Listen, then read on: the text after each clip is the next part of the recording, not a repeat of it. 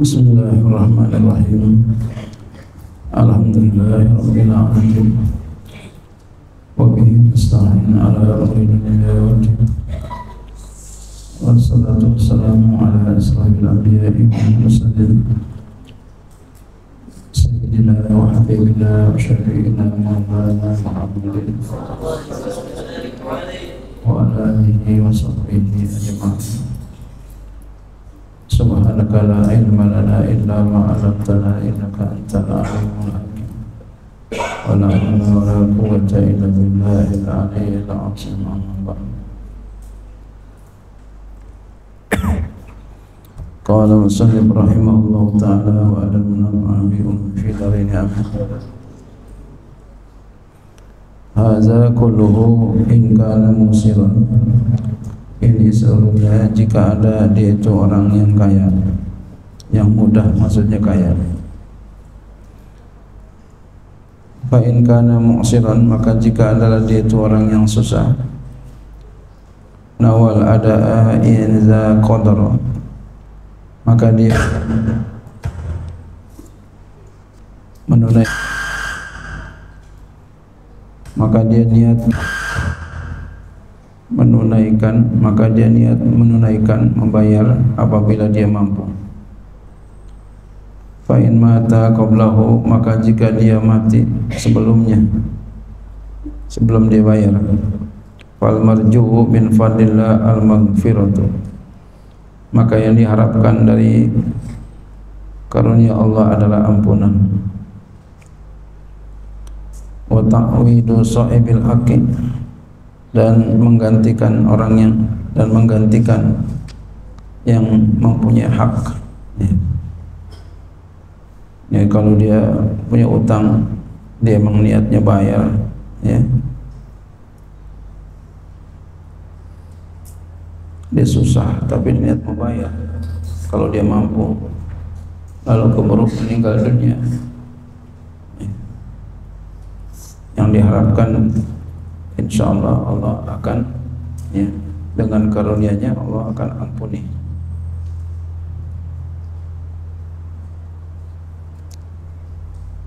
Kalau dia punya utang susah, tapi niat pengen bayar.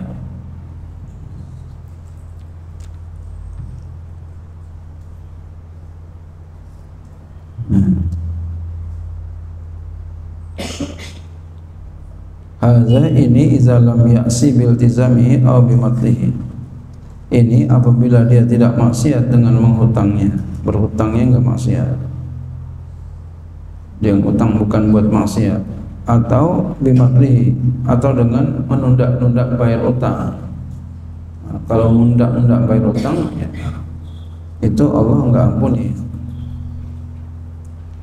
Punya duit enggak mau bayar, cukup duitnya kamu bayar entar entar entar entar fa in kana kadzalika maka jika ada dia itu seperti demikian artinya dia dosa dalam minjamnya nunda-nunda dalam bayarnya ukhiza maka diambil min hasanatihi daripada segala kebaikannya mimik dari mazalama bihi dengan seukuran apa yang dia berbuat zalim. Jadi kebaikannya diambil dikasih kepada orang yang dia utang.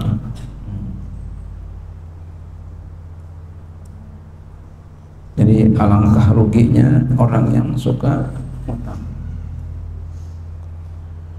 Fa in faniyat hasanatuhu maka jika habis ya, oleh segala kebaikannya udah enggak punya kebaikan udah enggak punya kebaikan orang ini turiha alaihi min sayyatil mazlumi maka dilemparkan kepadanya daripada segala keburukan-keburukan orang yang dizalimi jadi keburukan-keburukan orang yang dizalimi dikasihkan kepadanya.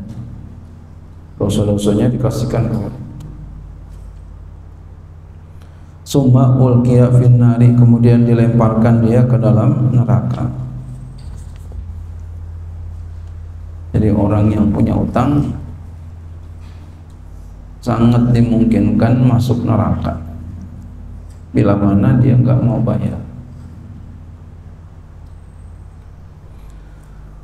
Warwal Hakimu dan telah meriwayatkan Imam Hakim an Anas dari Anas an Rasulillah dari Rasulullah sallallahu alaihi wasallam.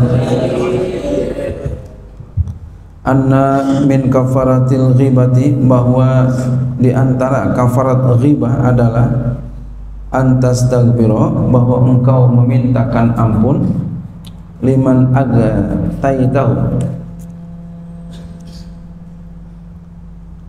untuk orang yang engkau ghibahkan akan dia. Kau mintakan ampun untuk orang yang kau ghibahkan ya takulu engkau berkata Allahumma gfir lana walahu ya Allah ampunlah bagi kami dan baginya. Ya. kalau ada orang kita ghibahin bacain doa ini Allahumma gfir lana walahu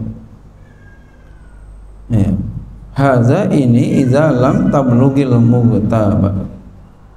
Ini apabila ribanya enggak sampai kepada orang yang diribahkan. Ini kalau enggak sampai. Nah, kalau sampai bagaimana? Wa in balagat usturito istihlaluhu. Dan jika sampai ribah kepadanya maka disyaratkan akan minta halalnya. Ya, jadi kalau sampai ribanya minta halalnya. Maafin saya kemarin ribain kamu. Maafin saya. Berani nggak begitu?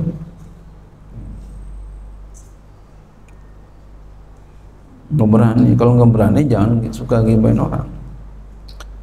Fa in ta'azzara limautihi maka jika uzur ia karena matinya atau ta'assara atau karena ya sulitnya li ghaibati karena goibnya dia al ba'idati yang jauh. Ya. jauh enggak ada orang. As ya, istaghfarullah lahu. Maka dia minta ampun ya kepada Allah untuknya. Wala tibara bi tahlili warisihi. Dan tidak ada i'tibar enggak dianggap dengan meminta halal kepada ahli warisnya. Nggak bisa. Ada ahli warisnya maafin saya ya halalin saya. Nggak bisa begitu. Bapak inti kemarin saya udah zolimin saya minta halalnya sama kamu ya. Nggak bisa. Sama cucunya engkong inti kemarin saya ngibain maafin saya ya. Nggak bisa kaza afadahu Ali bin Ahmad Al-Jizi fi Tuhfatil Khawas. Seperti inilah telah memfaedakan akan dia oleh Ali bin Ahmad Al-Jizi dalam kitab Tuhfatil Khawas. Qauluhu perkataannya wali hazil arkan far'a wa kamila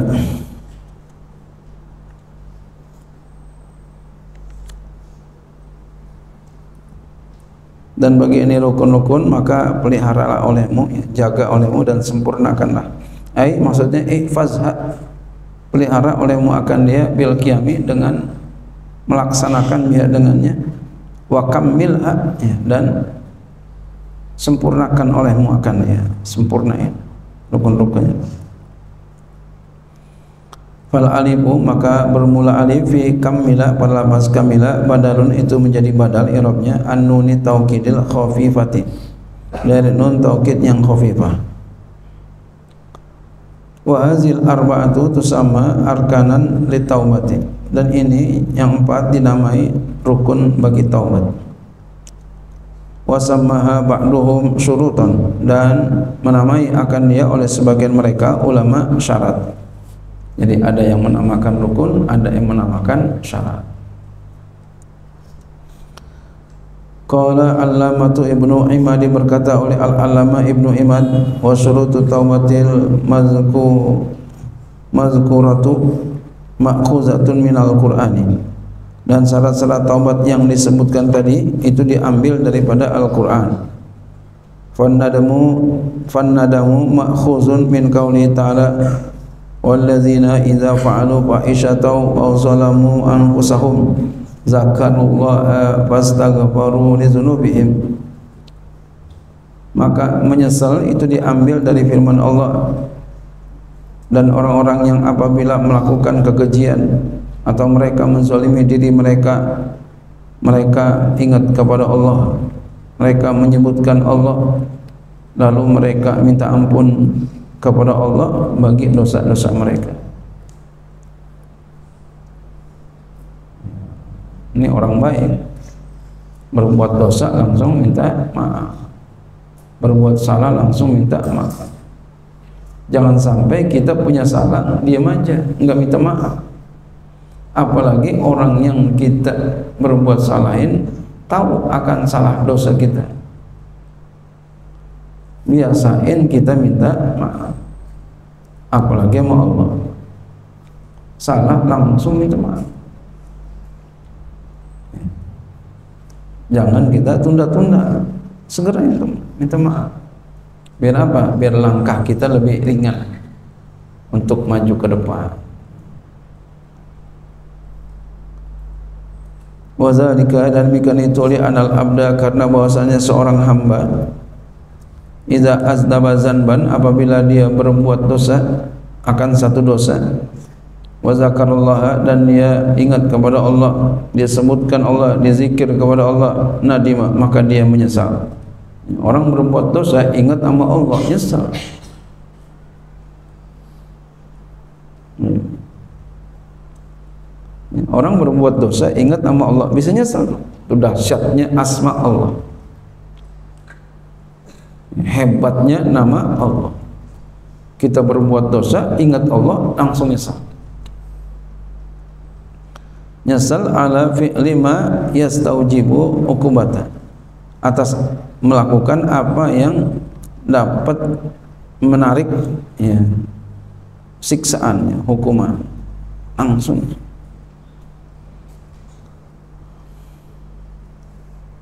wal iqla'u dan mencabut diri. Wal azmu dan bercita-cita. Ala tarkil audi.